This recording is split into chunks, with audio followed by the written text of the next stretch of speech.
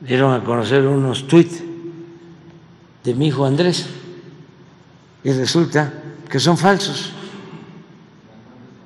Crearon una cuenta falsa y además como supuestamente está certificada, esto ojalá y lo vea eh, Twitter, ¿sí?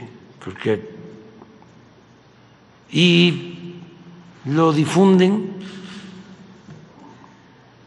A ver, pon lo de Andrés. Mire, enhorabuena. Pasarán a la historia de México como héroes patriotas que son.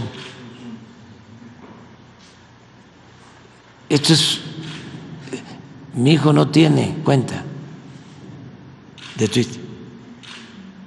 O sea, pero está con la palomita